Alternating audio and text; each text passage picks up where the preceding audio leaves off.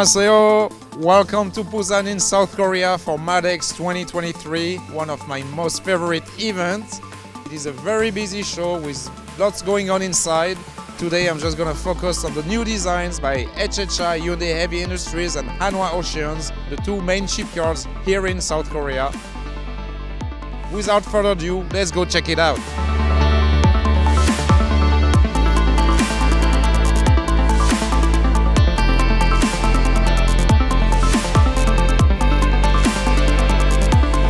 HHI is showcasing several new models, including the bar variant of the CVX aircraft carrier project, the latest designs of the KDDX next generation destroyer, as well as a new mothership concept.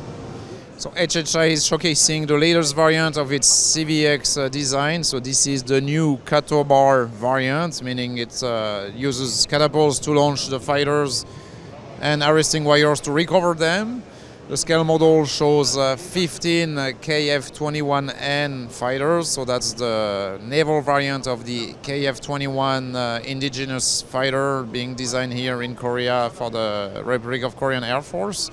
There are also two Hawkeye type uh, AWACS aircraft.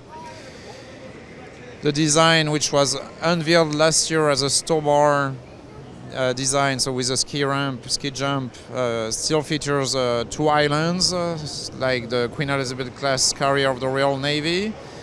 Uh, on the sign up there, HHI says uh, this design is 40,000 tons displacement. however, it's difficult to conceive how such a large design could displace only 40,000 tons. Uh, maybe it's just like very light uh, displacement. They designed the CATOBAR variant at the request of the Republic of Korean uh, Ministry of National Defense uh, as they are trying to push uh, the use of their national fighter uh, for their aircraft carrier, the, the, the, CVX project. In this configuration, the CVX is featuring two EMALS catapults as well as AAG to recover the aircraft and HHI representative told us that this design is 270 meters in length. This is the latest design of the KDDX next generation destroyer for the ROK Navy. HHI received the basic design contract back in 2021 and is set to complete that basic design phase at the end of this year.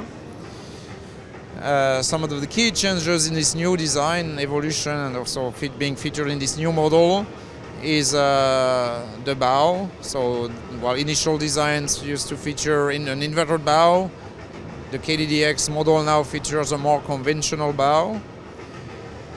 The VLS cells amidship has been relocated, so they are off-centered now. Uh, those look like a KVLS2, so the largest local VLS cells Forward, there's a number of uh, VLSs. I believe those are either Mark 41 or KVLS ones. The KDDX features the integrated mast by Hanwha Systems, as well as two KCIWS by LIG Nex1. This is the HDP 2200 Plus. Uh, so it is an offshore patrol vessel. It is a heavier and up-armored version of the OPV selected by the Philippine Navy and next to it is a new concept ship, a mothership uh, able to deploy UAVs, USVs and UUVs. It is a trimaran design, very futuristic, laser weapon, many VLSs, uh, very conceptual, so there's no specifications, uh, don't have the length of the displacement, but it's to show the know-how of uh, HHI and uh, what uh, future ships could look like. HHI is showcasing for the first time the KDX3 Batch 2 design. So the first unit was launched in July last year. This is for the ROK Navy. It is an Aegis destroyer. It looks like an Arleigh but it is uh, quite larger. It features three types of VLSs, Mark 41 for US-made missiles, or probably uh, SM-3s, ESSM, and uh, potentially SM-6 missiles.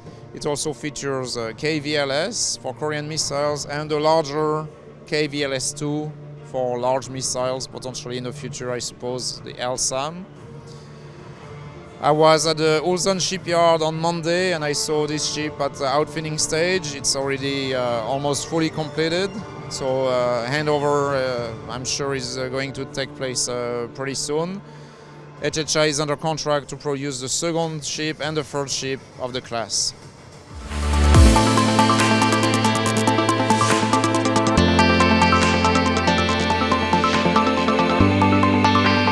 Hanwha Ocean is the new name of DSME. The rebranding took place just two weeks ago. They are showcasing four new designs or concepts that are pretty interesting, so let's get closer to take a look. This is the Joint Strike Ship concept. So Hanwha Ocean received the conceptual design for this, uh, what is basically an arsenal ship, just last month. It is a requirement of the ROK Navy uh, as part of the kill chain of the ROK military, which calls for uh, destroying as far as possible uh, the strike system in, uh, based in North Korea. So arsenal ship means a vessel fitted with many, many strike weapons. Uh, this one features uh, approximately 100 VLS's vertical launch system cells.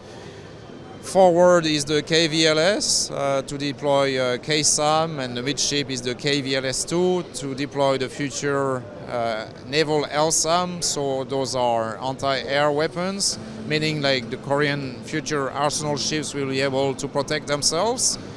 Where it gets more interesting, though, is again a midship, and aft uh, on the helicopter deck are the ballistic missiles to strike uh, against a land target. They are showing three sizes of missiles, so a small one, medium one, and very large one that basically looks like a space rocket to go inside space. Uh, that's a pretty conventional configuration, but on the heli- helicopter deck, uh, I'm not too sure what's what's going on. I think like the ballistic missiles are so big that they, they cannot fit inside the VLS on the ship. Uh, they told us uh, previously that to deploy those two types of missiles, the arsenal ship will need a support vessel next to it in order to load load the larger missiles on the helicopter deck and then erect them vertically in order to launch them. Again, this is just very conceptual at this time. Uh, by the way, this ship design is based on uh, DSME's original KDDX uh, design, the next generation destroyer.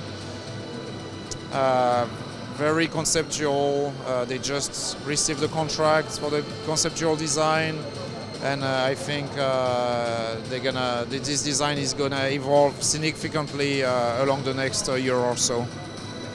The joint strike ship has a length of about 150 meters and a displacement of approximately 8,000 tons.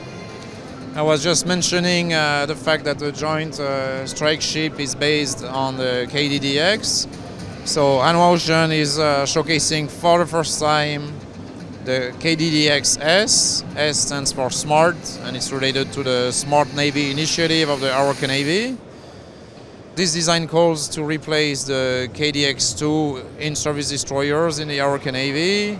It has a length of 145 meters, displaces 7,000 tons. It features a stealth uh, main gun, laser, energy weapons, a number of uh, vertical launch systems uh, forward, amidship. There's some uh, in-deck launchers because the design is uh, quite stealthy. There's four more VLSs midship.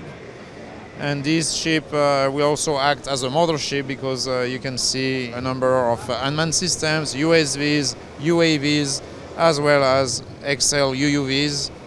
Hanwha Ocean already conducted the feasibility studies with the ROK Navy for this, and they are expecting the concept uh, design contract uh, sometime next year. Last but not least, Hanwha Ocean is showcasing the Ghost Commander concept. So it's actually a family of motherships. Uh, this one is the largest one. It's mothership for fixed wing UAV as well as uh, XL UUVs and also USVs, unmanned surface vessels. It is about 200 meters in length and uh, displaces uh, 16,000 tons. It has two catapults and one uh, angled deck on a different level, which is uh, very unique, to retrieve the fixed wing uh, stealth UAVs. The other smaller concept is uh, dedicated to uh, rotary uh, wing UAVs, so basically unmanned helicopters. And there's a third one dedicated to the launch and the recovery of UUVs and XL UUVs. So this is fitted with, so this platform is manned, of course it's the mothership, it's fitted with uh, directed energy weapons for self-protection. Uh, it can deploy a number of uh, fixed wing UUVs, uh, VTOL UAVs, and XL UUVs. Next to it, you can see the model of the Combat XL UUV. So, as you can see, as is suggested by the model, it's fitted with uh, flank array sonars for ASW, two torpedo tubes. It can also deploy uh, sea mines uh, to conduct anti-submarine warfare. Hanwha Ocean gave us the basic specifications for this XL UUV. It is 23 meters in length and displaces 60 tons. And they actually received the concept design contract for this about six months ago from DAPA.